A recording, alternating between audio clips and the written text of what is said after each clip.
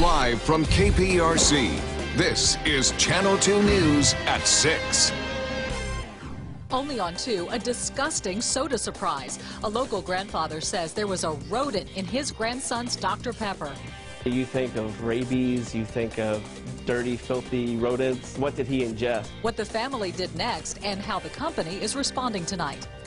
Now, that grandfather contacted us asking for help because he's concerned for his grandson's health. It definitely is disturbing. You saw the video. We want to let you know that we have more images, and some of you may find them graphic. Our Jennifer Bauer joining us live in Katy, where she spoke with that family only on 2 tonight. Jen? Well, the family lives here in Katy, Bill, but they bought that soda down in Galveston yesterday. They say at first they didn't notice anything was wrong because, as you can see, Dr. Pepper is very dark and it's difficult to see in the bottle. They say they didn't make the discovery until the bottle was half empty. Floating in this half-empty 20-ounce bottle of Dr. Pepper is some sort of rodent. It's got beady eyes, small ears, and a tail. Pretty good size, about three inches long with a big tail. John Graves' three-year-old grandson, Caden, drank the Dr. Pepper on Sunday.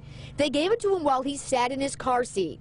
He didn't finish it, so they put the cap back on. This morning, when they opened it, they saw something floating there. You think of rabies, you think of dirty, filthy rodents.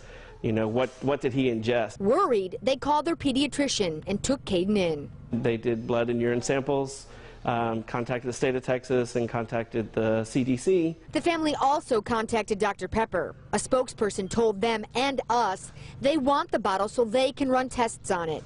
But the Graves family wants to have their own testing done before handing the bottle over to Dr. Pepper's people. I want to get the rat tested, see where it came from, how it got there, and if there's really any, you know, medical concerns that we need to be worried about.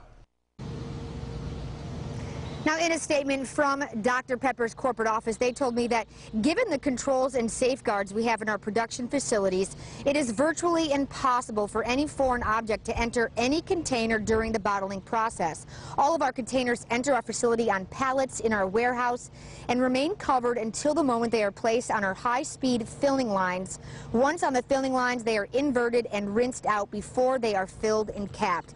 The family tells me tonight they are considering uh, talking to a lawyer and then working with Dr. Pepper to figure out what the next steps are. The family also insists. They say there is no way that rat got into the bottle after they purchased it. We're live tonight in Katy. I'm Jennifer Bauer, KPRC, Channel 2 News.